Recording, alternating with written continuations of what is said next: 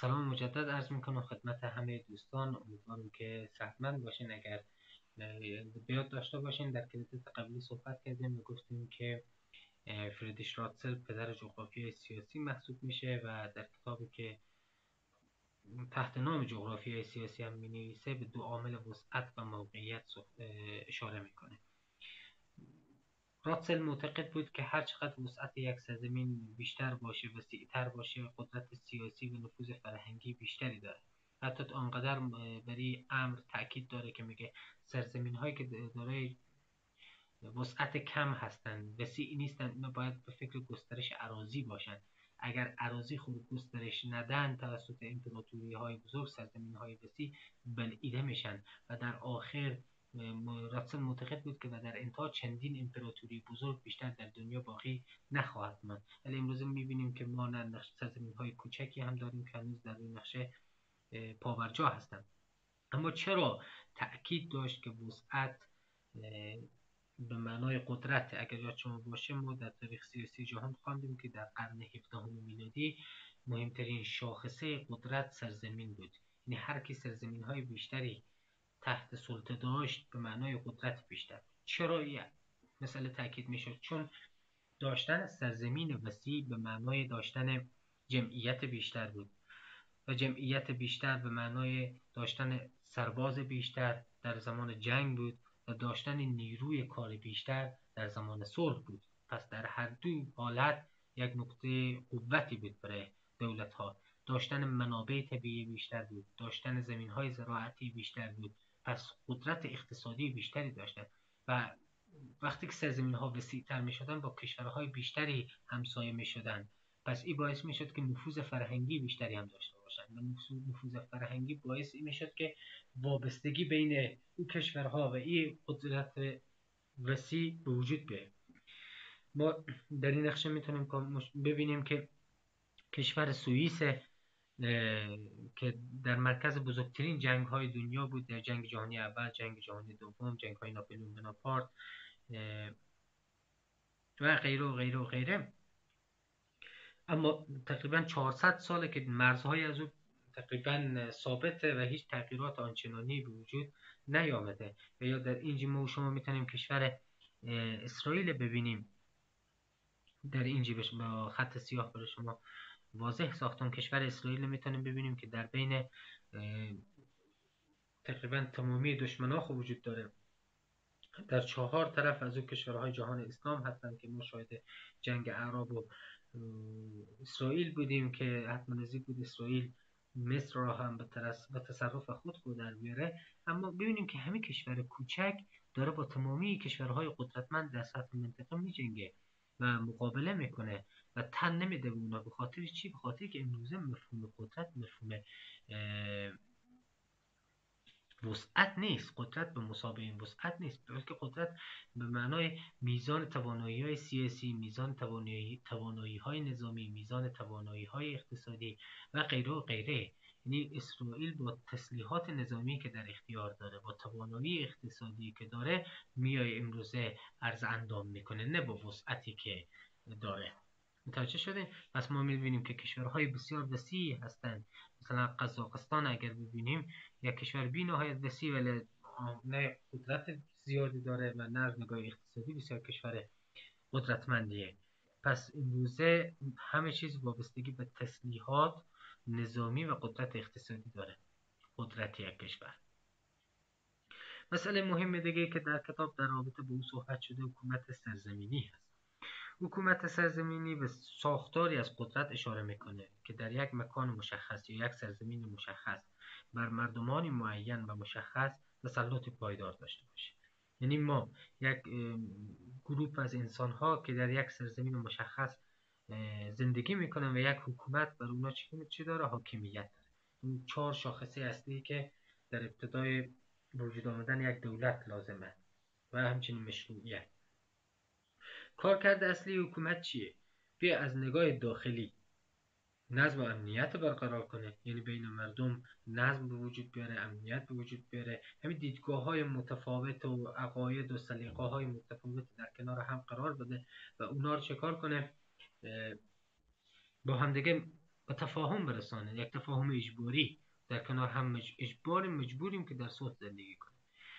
و از نگاه خارجی بیا چیکار کنه؟ از تمامیت ارزی دفاع کنه. یعنی نگذاره کشورهای دیگه به همین سرزمین مشخص و بر همین مردم معین و مشخص چیکار کنه؟ حمله کنن یا تعارض کنن. و تلاش کنه که منافع فرد فرد شهروندان یا اتباع یا افراد جامعه خود چکار کنه؟ حفظ کنه. اون که در مجموع میشه منافع ملی. درسته؟ یکی از مهمترین و اساسی ترین وظایف حکومت تأمین منافع ملی حالا با توجه به تعریفی که از حکومت سرزمینی کردیم حکومت می‌تونه از سه دیدگاه مورد بررسی قرار بده. یکی بود جغرافیایی یکی بود حقوقی یکی هم بود سیاسی. از بود جغرافیایی حکومت نهادی محسوب میشه که بدون از او بدون سرزمین حکومت وجود خارجی نداره یعنی اگر سرزمینی نباشه مردمی در وجود ندارن که در اونجا زندگی کنن. پس حکومتی هم وجود نداره که بر مردم حکومت کنه. حاکمیت داشته باشه. پس اینجا ما ابتدایی ترین نیاز ما داشتن یک سرزمینی و این تمامیت ارزی و مرزهای ارزی دارای یک مشروعیت بین المللی است. یعنی چی؟ یعنی یک کشور نمی‌تونه مدعی که مرز ما افغانستان بگه مرز ما استانبول از غرب و از شرق پکنه. چرا؟ چون این مشروعیت یا اسلام آباده یا دهلی چون این مشروعیت بین المللی نداره. چیزی مشروعیت بین المللی داره که این مرزهایی که امروزه در نقشه سیاسی جهان نشان داده میشه. پس ای چون همه کشورهای دنیا اون به رسمیت می‌شناسن خود افغانستان هم به رسمیت می‌شناسه پس هیچ دیگه صحبتی در مورد از اون نیست. بگیم که مرز ما ادعا کنم مرز ما ایران مثلا ادعا کنه که مرز ما به بامیانه از این طرف از از غرب ما مرز ما به بغداد هیچ کسی قبول نمی‌کنه چون مشروعیت بین المللی نداره.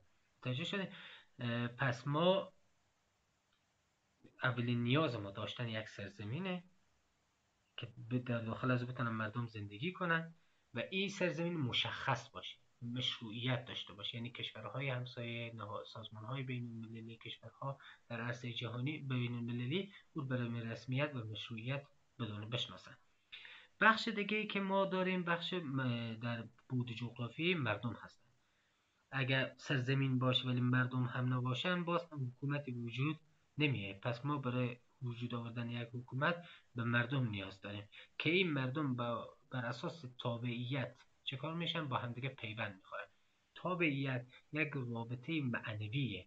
چرا میگه معنوی؟ به خاطر که شما برای داشتن تابعیت کشور حتما نباید فیزیکن داخل از کشور باشه این شما هر جای دنیا که باشین باز هم افغان محسوب میشه توجه شده و این به خاطر رابطه معنوی که بین سرزمین و شما وجود میه که من افغان هستم در هر جای دنیا که باشم. و وقتی که تابعیت وجود میایه دیگه نیازی نیست که ما صحبت از قوم و قبیله و دین و زبان و نژاد هر کسی که در همین سرزمین مشخص زندگی می‌کنه بر اساس تابعیت چکار میشه؟ با هم دیگه متحد میشه چی پشتون چی تاجیک چی ازبک چی هزاره چی دری زبان چی پشتو زبان چی ازبک زبان چی مسلمان چی سنی چی شیعه چی سیک همه در همه های افغانستان با هم دیگه یک جا شده و چیکار می‌کنیم؟ تحت نام افغان یک تابعیت مشترک پس ما دو مسئله برای حزب جغرافیایی برای ما و شما داره اهمیت. یکی گفتیم داشتن یک سرزمین که دارای مشروعیت بین المللی باشه و داشتن یک جمعیت ملت یا یک مردم. از نگاه بود حقوقی حکومت سرزمینی میبخشین اینجی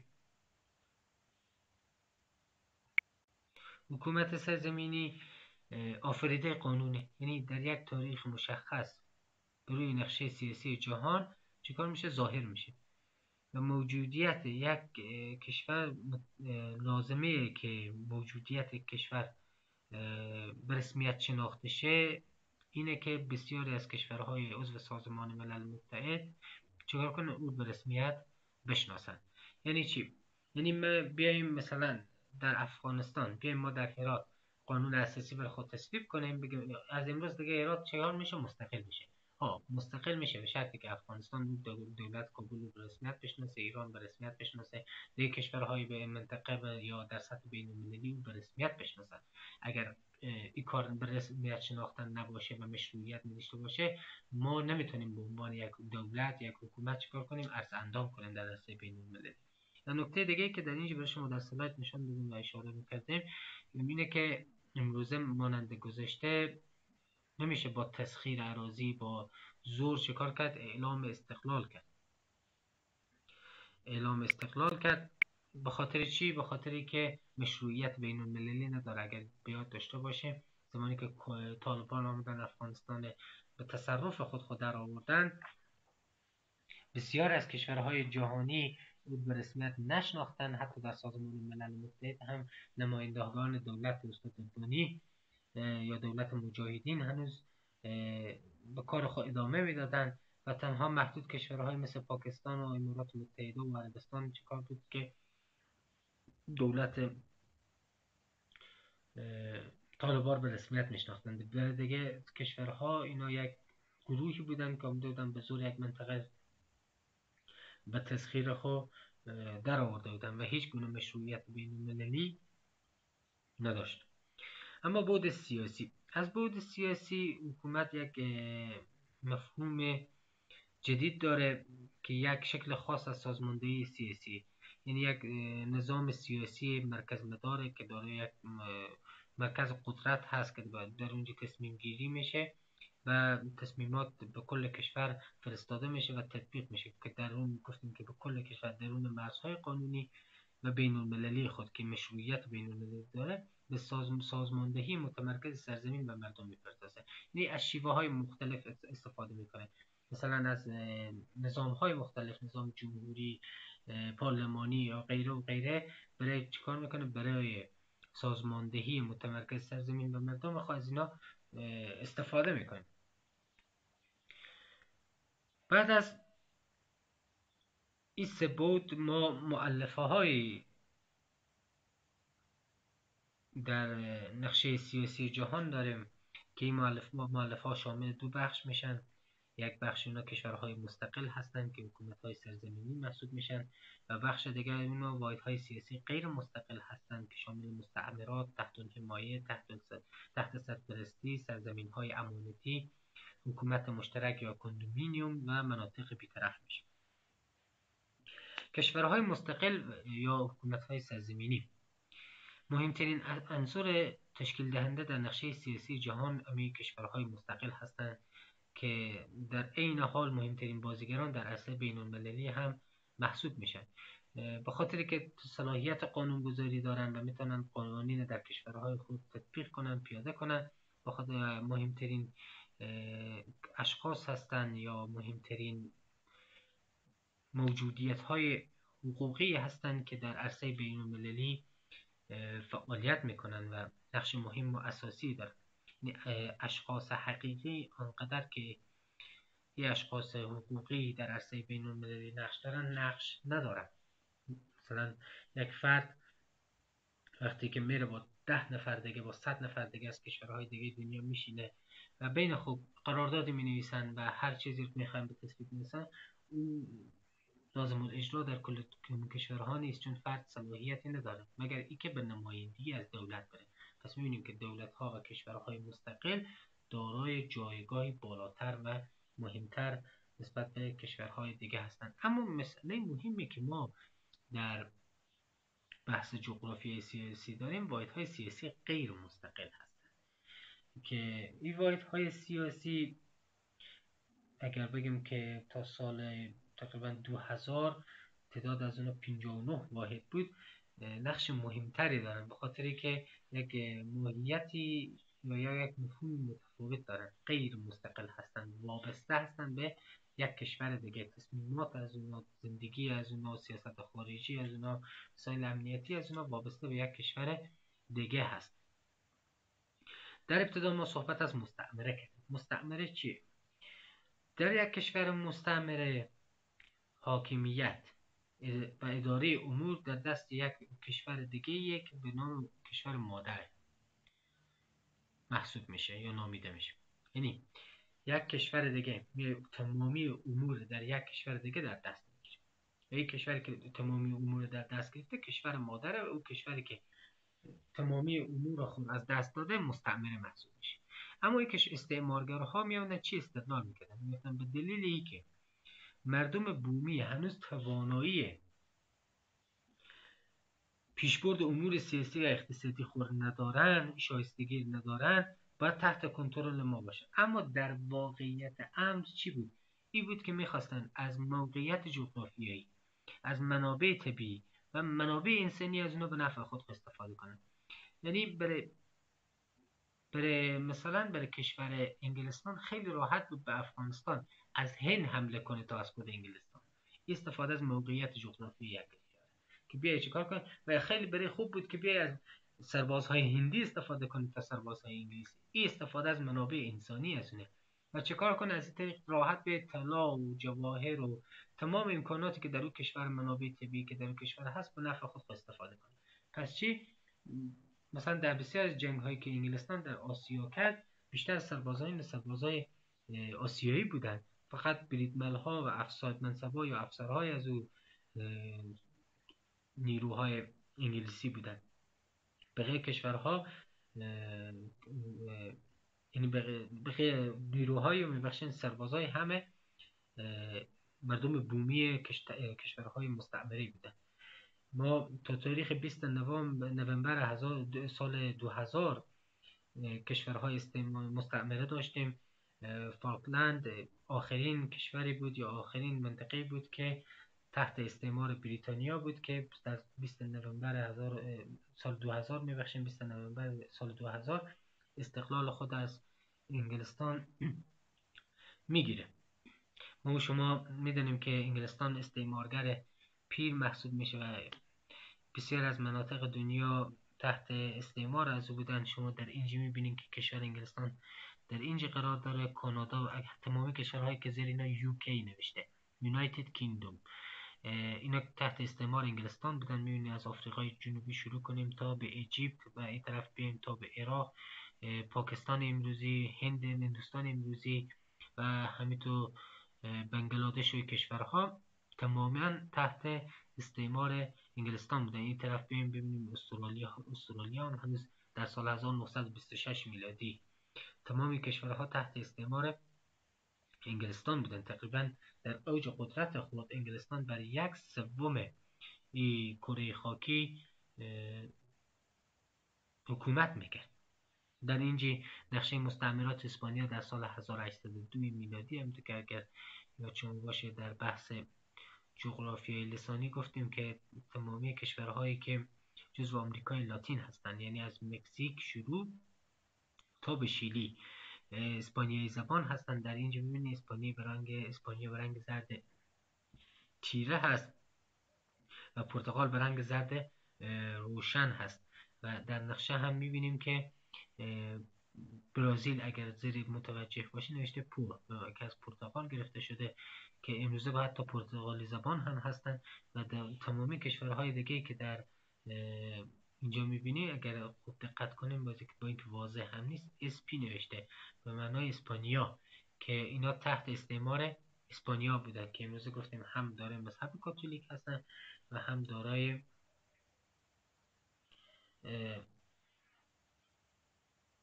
زبان اسپانیایی میبخشید دومین واحد سیاسی غیر مستقل ما تحت الحمایه. تحت الحمایه کمی متفاوت تر از مستعمره. متوجه شده چی تفاوتی داره؟ این تفاوت داره که در امور داخلی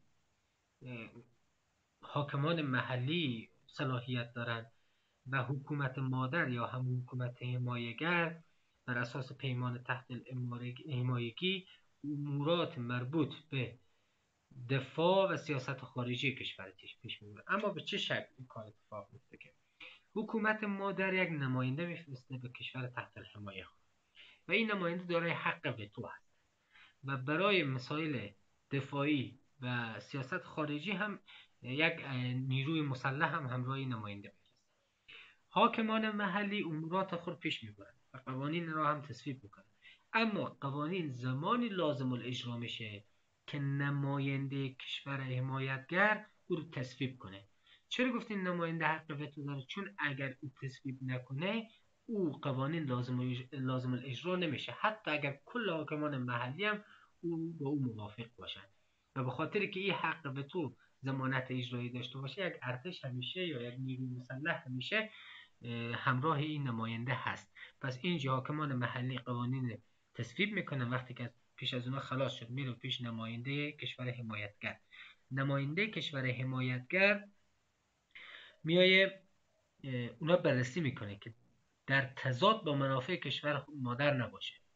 در تضاد با منافع کشور مادر نباشه. اگر نبود به نفعی بود چه کار می‌کنه؟ تصویب می‌کنه و لازم اجرا میشه. اگر به ضرر کشور مادر بود باز اونجا چه کار میشه؟ او دوباره رد می‌کنه و دوباره باید اصلاحات لازم به او بیاید امروزه ما بسیار از اندیشمندان معتقدن ما دو مفهوم تحت الحمایگی داریم. این مفهومی که من تا حال ارائه کردم مفهوم کلاسیک یا سنتی از او بود و یک مفهوم جدید و مدرن هم داریم که امروزه